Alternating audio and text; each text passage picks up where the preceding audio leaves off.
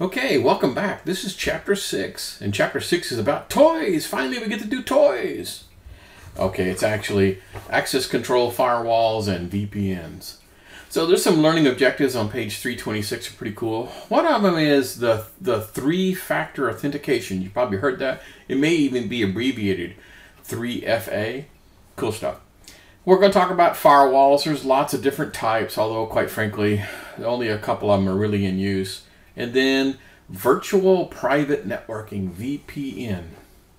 Okay, so as an introduction, they talk about, you know, th these things are called, you know, technical controls, right? I mean, they're not pieces of paper, they're not policy, they're, you know, tangible things. But they're only part of the big solution. And quite frankly, you know, the, the controls part is actually the easy part.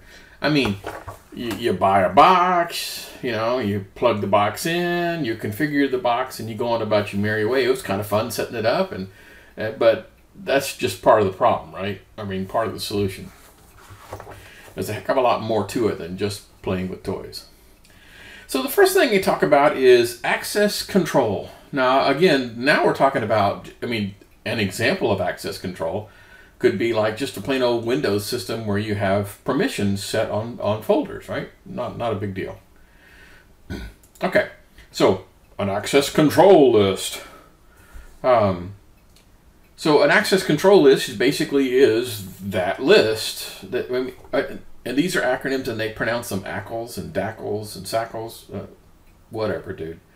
Anyway, an access control list basically says who and then what you know, and then what can they can do, right? You know, who, where, and what. You know, Bob had on this folder has read permission, that kind of stuff. It again, this is not too complicated. We've talked about this before, but let's go through it again. A discretionary access control list. I think that's a horrible term because it makes it sound like, well, I can use the access control list or not. I mean, it's completely discretionary. That is not at all what they mean. What they mean, the discretionary part is the owner of the folder is the one who gets to decide what the permissions are. Now, you would think uh, owners would be smart and they'd be using the correct kind of permissions. Uh, really? You think users are smart? Have you been in this business?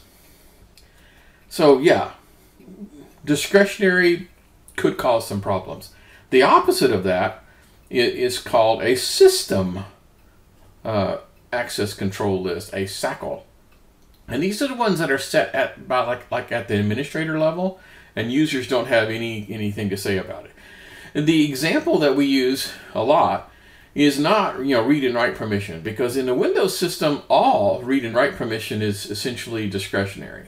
Okay, uh, but the things that are not in a Windows-based system is things like auditing or I turn on auditing for a particular folder and the user has nothing to do with this. They can't turn it off, they can't change anything. Right, cool. All right, and then there's role-based access, con access control. Now this is not really a new category. What they're basically saying is whenever you apply permissions to uh, uh, you know, a folder, don't do it by people's names. You know, if the counting people need access to this shared folder on a network, then create a, a, a group called accounting members or something and put all the people in there. Don't go through and say, okay, Bob, Sally, you know, just list them all, the employees. That is a pain in the butt and a waste of time. You probably need to just put all those people in a group and set the security at the group level. That way, when people come and go, all you have to do is make sure that the new people got put into the list and the old people got taken out. You don't have to do anything else. You don't have to go through and reset permissions because the permissions are already set and they're set based upon the role and not the individual. Okay. So um, on figure uh, 6.2 in the book, I'm not going to show it because you've, you've seen all this stuff before. Come on. You've, you've brought up properties on a folder and, and gone to the security tab and looked, haven't you? Yeah, I think so. Um, it basically just says, you know, here's the stuff. Well, I'll doggone it. Rather than talk about it, let's, okay, let's just go here and we'll go to my desktop and we'll go to this and let's bring up the properties and let's go to security. And there, that is an access control list where Emmet Gray it's got all these permissions, and administrators have all these permissions, and the system has all these permissions. Okay, cool. All right, let's continue. So they talk about the uh, access control mechanisms on page 329. And so really we're talking about, um, well, okay. So access control, the big picture, what is access control? And then there's non-discretionary, which is the system one. And then there's discretionary, controlled by the user. And then it could be, you know, role-based or mandatory. I don't really, that this distinction is not all that important. In fact, I don't particularly like this, this idea. Any one more, one more time. Having an access control matrix means you have a list of roles down here and a list of of resources and whether and then so roles and resources and like on an Excel spreadsheet and you go through and say oh, this guy gets read or this group gets read they get right over here and they get read over here and they get right over here you know it's just a matrix this is an excellent idea because if somebody comes in to review your security you just whoop out this little piece of paper and say well here's how we set permissions on our all folders and it works kind of cool so uh, the next thing they talk about is authentication factors. Now, now pay attention because this is a little weird. Um, so when we get to that point, yeah. All right, there's a bullet list on, on page 330 talking about the four fundamental functions of access control. Okay, cool. And the, uh, the, the functions are, I need you some way to authenticate. I, you know, I am the person I, who I say I am. Um, I can prove that I'm that person. So I say I'm Bob. I can prove it, and then here's what I can do. Now that you know who I am, like okay, and then I can track all these things. Now this is kind of sort of important. Um, the idea is that uh, the identification piece is is kind of weird. Um, it could be something like you know username and password, right? You know, I know who uh, who you are because you're logged into that system. That's one way of doing it. Uh, typically, that's not enough, though. Typically, we need more different types of, of authentication. So here's where we talk about the three-factor authentication. So three-factor is, how many factors would that be? Four? Two? Oh, three? You mean it's called three-factor because there's three factors? Wow, what a coincidence. Okay, so one of them would be something that you know, like you know your name and you know your password. That's one. Uh, something that you physically have with you, like an access control card. That's two. And then third one is something that you are, some biometric like facial recognition or thumbprint or something, retinal. Something that basically that only you have, something that you that is unique to you, okay? So, those are three factors. Now, if you only had one of those factors, how many factors would that be? One, right? Okay, good. So I'm going to show you a very simple um, clip from uh, a TV show. Uh, and watching a video on YouTube via a video on YouTube is a little weird, but just bear with me. So this is, uh, I guess I got to go through that part. This is Big Bang Theory. this building was classified. Maybe that's because it's classified. Wish we weren't so far from my parking space. The way you put away those lemon bars, perhaps that's a good thing. I'd like to reinstate the you're not talking rule. Why? It clearly doesn't work. I guess this is it. Is that a retinal scanner? Let's find out. Howard Wolowitz, access granted. No way! Uh, my turn, my turn. Leonard Hofstadter, access granted. I didn't even have to take my glasses off!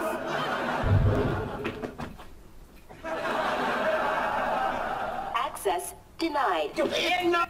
Okay, the point of this is facial recognition and iris and retinal scans are great, but in this particular case, that's the only thing letting them in that door. They don't have to have something that they know, like a name or password or a PIN. They don't have to have something that they have, like a card. All they have to have is that. So how many factors is that? That's one factor. Okay? One factor. Kind of makes sense. Okay. So, the authorization piece on page 333. So authorization, you could do authorization individually. I don't recommend it. Most likely by group. Okay. But what happens if you have multiple systems? Now, this gets a little complicated. If you have a you know homogeneous system like all you have is like Windows based systems and you're using Active Directory, then an account built on one you can kind of have it appear everywhere. But if you're like in a business relationship with another company and you don't necessarily have an Active Directory trust, that's what the thing's called, then I basically have to come up with a list of people on in from company A which are allowed to come into company B. So it's a little more complicated than just normal. Okay, so there's a thing called a chain of trust, and you've probably heard of this before. And it basically it's if I trust Bob and Bob trusts Sally, therefore I must trust Sally. Right? It's a chain of trust. So if I say company A is okay, and then company A says Bob is okay, then I'm going to say Bob is okay. That's how the chain of trust works. Okay, accountability. So the accountability point is all about I'm going to record every single time you do this, every single time you attempt to log in, every single time you successfully log in. I'm going to record the date timestamp and the where on the planet you physically are. I mean, to record all this information. Okay, good. So it provides an audit trail. And this comes in really handy if you're trying to defend yourself or you get caught doing something stupid. It's like, who was there at 2 o'clock in the morning? Well, looks like Bob logged in. Okay. Biometrics on page 334. Now, biometrics are fun, just like the YouTube clip here. I mean, it's hilarious, it's fun, it's great to play with, but in reality, it's kind of gimmicky. I mean, really? Um, it's an emerging technology, and to tell you the truth, Hollywood kind of overhypes this big time. I mean, I've seen lots and lots of movies where their three factor authentication is laughable. Okay. And the reason is is there any ambiguity whatsoever in somebody typing in a name and a password? I mean, either you typed it in correctly or you didn't, right? There's, there's no guesswork. So is there any ambiguity on, on whether or not you plugged in a security card or something? No. Is there any ambiguity of, of uh, facial recognition? What if you had an identical twin? Well, there might be some ambiguity there, right? I mean, it could be a gray area where you might get a false positive or a false negative involved, right? It's possible. Okay.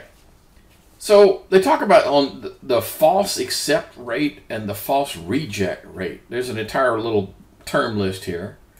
Um, so basically, it talks about uh, the, the false accept rate, a rate in which a fraudulent user is allowed. A false reject means I am authorized, but it told me no. And then this crossover error rate. This is a term that the biometric people use. That basically means is, oh, where does the false uh, accept and false reject meet? That point, and, and that point is acceptable. In other words, 90% of them, you know, of, of it is good, and only 10% fall into those two other categories, you know, that crossover rate. So this is clearly not 100%. Hey, um, if you have an identical twin, can they uh, open your uh, your iPhone with Face ID? Probably. What about identical twins? Do they have absolutely identical fingerprints? Uh, turns out no. They have very, very similar fingerprints, and quite frankly, a, a very simple fingerprint reader probably won't be able to tell them apart. But technically, no, they're not absolutely identical. Okay, so palm prints, that's a good one. You know, you put your hand down and it scans your palm. That's a good one, right? It kind of makes sense. Unless, of course, you get sunburned or you hurt yourself. See how this is kind of ambiguous, right? Hand geometry, that's another one that basically you know looks at the, the lengths of your fingers and and all that stuff and the widths and stuff but you know maybe you're working out maybe you were sick right you, you see the ambiguity okay we're coming up on the 15 minute mark so let's uh let's pause this and pick it up in a second